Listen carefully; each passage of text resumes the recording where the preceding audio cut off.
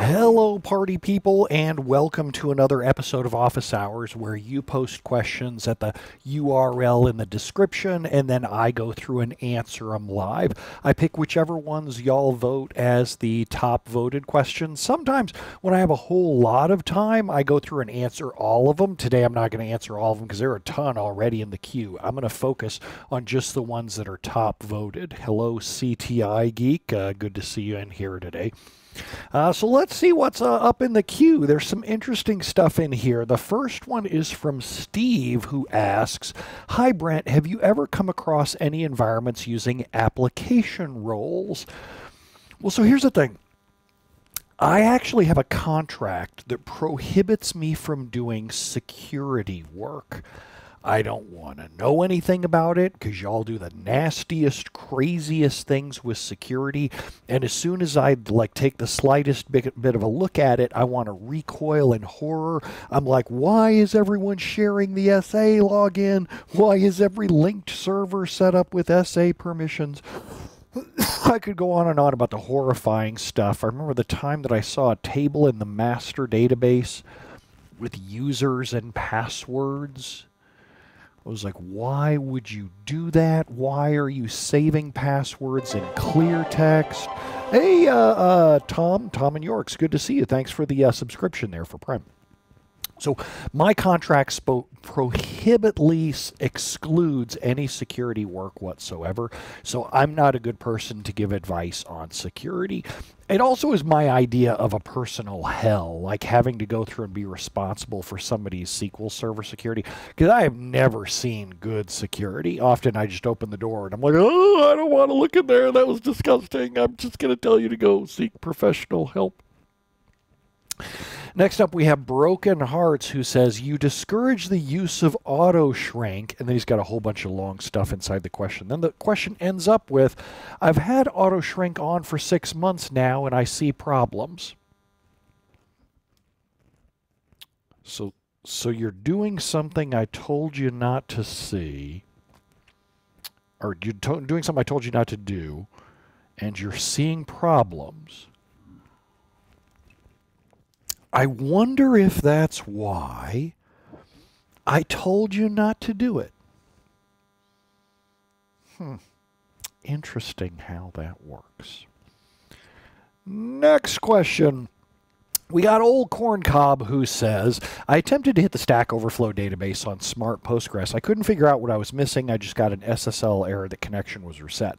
I tried a few SSL settings, but no dice. Is there a how-to guide that could help? Yes, it was written by a very good friend of mine, a French person, Michael Googlet. It's not Michael Bublé, it's Michael Googlet. If you check out Michael Googlet's site, he's got a whole bunch of interesting stuff in there, especially around DBeaver and SSL connection reset. So check out big thanks to my friend Michael Googlet, who does all that incredible work. Next up, we have Eduardo, who says, What are your pros and cons of running SSIS on your one and only SQL server versus a dedicated SQL server? Oh, that's such a great question when you first get started running SSIS, using it to populate a data warehouse, or you're moving data in between a couple of servers so that you can avoid linked server queries, for example, you can save a lot of money by putting SSIS on the same SQL server, whether it's a VM or a physical box or cloud VM. You can save a lot of money by putting it on the same server as your database engine as the, your workloads in SSIS grow, you may hit a point where you hear the job overnight doesn't run quickly enough. When you get to that point, the most cost effective way to do it is usually to spend some time tuning the SSIS job. But once you're past that, if you find that the SSIS server and the SQL server are both trying to compete for resources at the same time, because after all, what are you doing with SSIS? You're pulling data in and out of that very same SQL server that shares the same hardware if you hit a point where that's a performance wall for you, then you start to ask, all right, does it make more sense to peel SSIS off to its own VM, spend a few thousand bucks on SQL Server licensing there, and let it consume all the, the horsepower that it needs?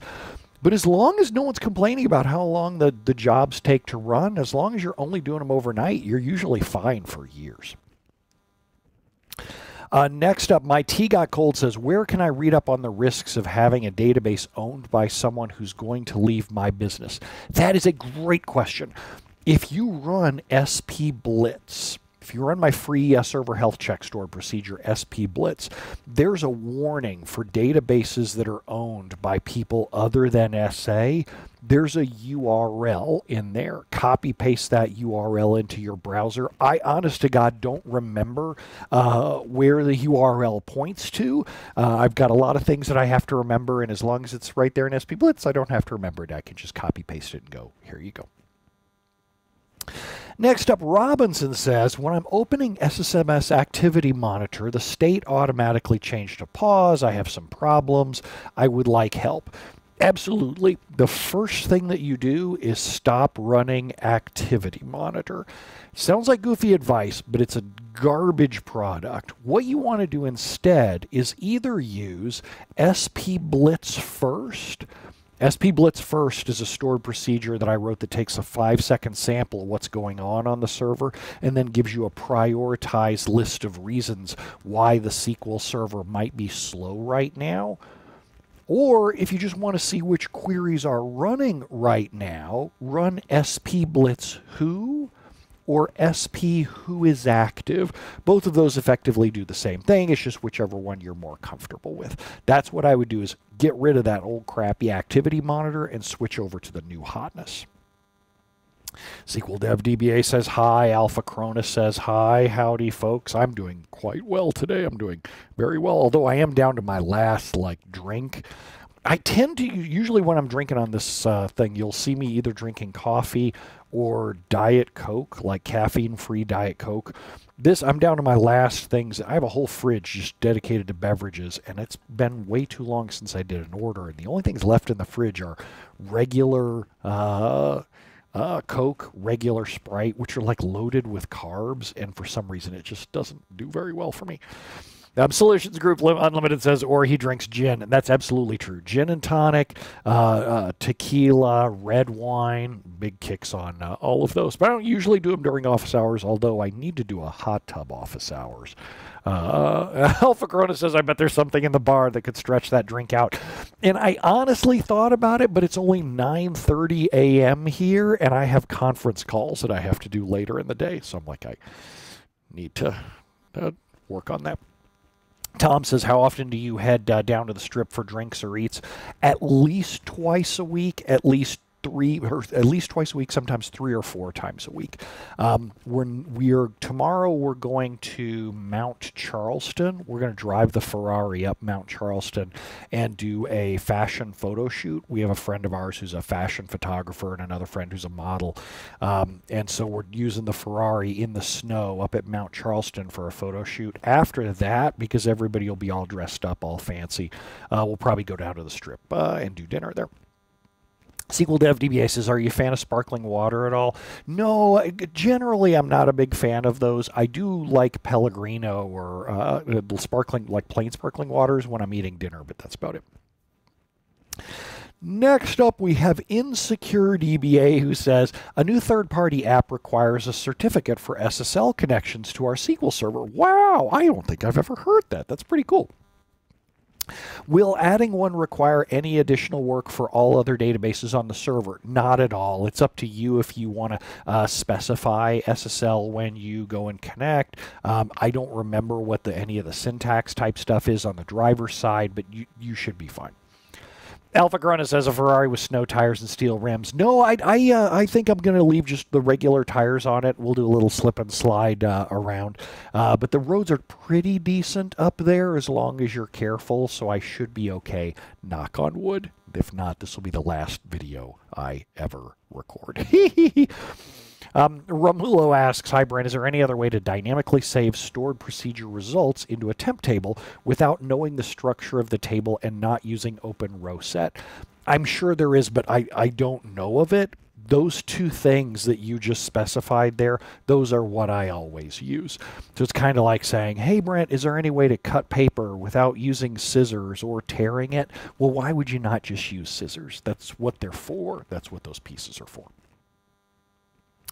Yusuf asks a funny question, and this is going to sound like I'm going to give a trolling answer, but I'm not. Yusuf says, new Microsoft keyboards are adding a ChatGPT button. Is this a good idea or a bad idea? I think it's a great idea.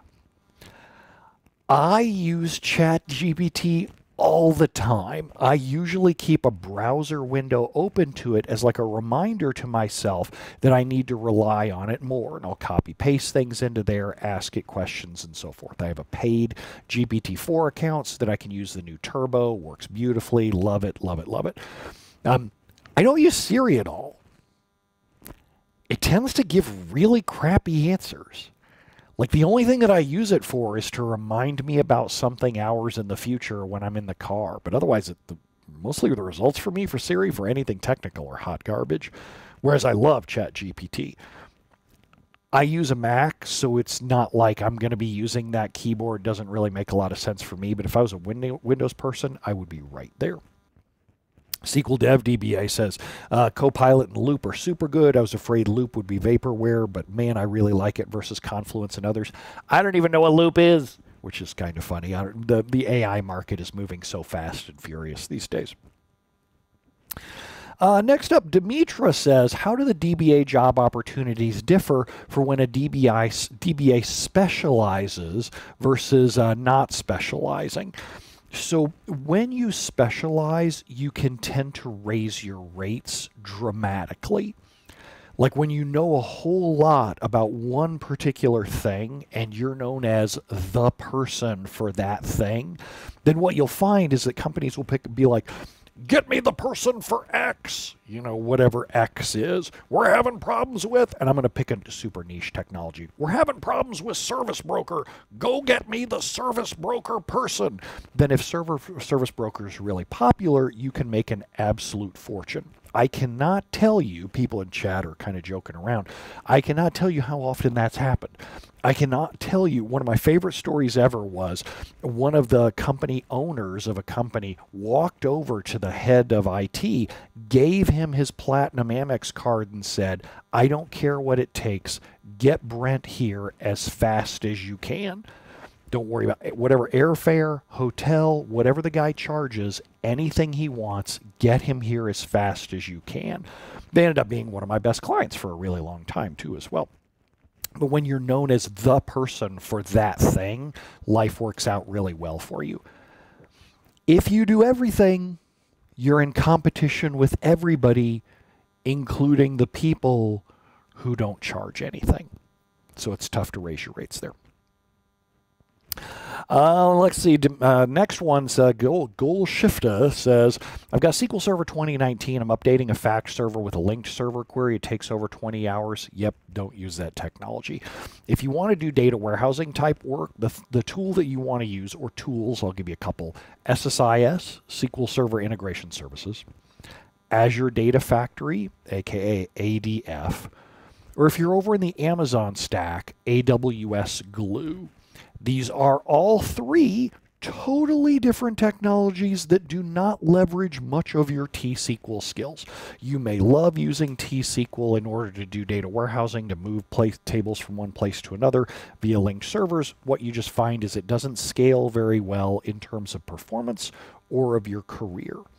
I want to help you with both of those, so either learn SSIS, Azure Data Factory, or Amazon Glue, whichever one your company prefers using or is open to using. Soji says, is rows per page a good table metric and is it actionable? No.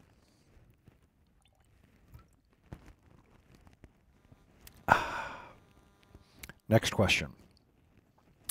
Borglin says, What is your favorite app for generating synthetic data headed for query testing of large data in a development environment? So I don't have that job responsibility. And the clients that I have who do it struggle with it all the time. Like nobody comes up with a good answer. So you have a couple of a couple of different choices. One is that you can just generate some small random data and live with it. But two, if you really want to generate production size data, you're going to need some kind of third party tool to do it. And I've never seen a good one. I've never heard of a good one. And the ones that even suck cost a lot of money. So there you go. Next up, DBA Emeritus says, I'm having trouble with deadlocks on something that inserts records and then immediately updates those same records. I've tried every fix I could divine. Any advice for this specific pattern? Yes, don't do that. Instead of inserting and then updating something, you're saying you want to do something based on their identities, use sequences. With sequences, you can get the identity values that you want to use prepare the data and then just insert it once without having to do round trips back and forth to the databases. Sequences, they've been out there for, I'm going to guess, at least a decade now. You're you're not alone in never using them before. The vast majority of database developers I know have never touched them in the SQL Server space. They're really common in other spaces, uh, but check out sequences. That's going to be the big key there. And then we'll do one more. Eduardo says, do you ever foresee Azure SQL DB growth eclipsing the boxed SQL server? Yes. I think some forms of platform as a service databases will eclipse SQL Server in the sense that you're going to see less and less boxed product deployments over time because as people build new applications these days, it's generally not cost effective to use SQL Server. Generally, most people who are building new applications these days and they're thinking about where to host the databases, if you're a database administrator, developers don't really like you. They don't like having to ask for your permission. They don't think you do a particularly good job. They ask you for help and you say condescending things about their code. I suppose I should take some responsibility for that because I'm a role model and I kind of say condescending things about your questions from time to time. But when I work with clients and developers, I try to use the carrot and the stick methodology back and forth. I try to use the carrot as much as I can, not just the stick, because I want to encourage people to do good things. Developers are sick and tired of working with database administrators, and so cloud platform as a service databases are exceedingly attractive to those folks who are sick and tired of working with people like you. I think it's going to take decades, just as the server side shift from Windows to Linux took decades in order to accomplish. Now, Linux is the number one operating system server side worldwide, like all over the place. You'd be, uh, which is kind of a, a thing that we all take for granted now, thanks to the advent of the web the same kind of shift will happen with box products, SQL Server over to platform as a service databases. It's going to take uh, decades, but then at a point, everybody's going to look around and be like, wait a minute, what happened to all the box product SQL servers? I know it's unconscionable to think about right now because a lot of people out there are like, I'll never use the cloud. I need high security no one else can do it like I can. But then, you know, I look at your SQL servers and you're so chock full of security holes. Everybody's got the SA password and they're all using it. It's taped up on monitors everywhere. There's no security in the data center. Anybody could walk out with a backup at any time. SQL servers can access the internet. There's no firewalls or anything. So I think that there's a lot of bravado, but over time, as new applications get built, more of them are going to use platform as a service databases. All right. Uh, SQL Dev DBA says we put our passwords under the, the keyboard. That way it's PCI compliant.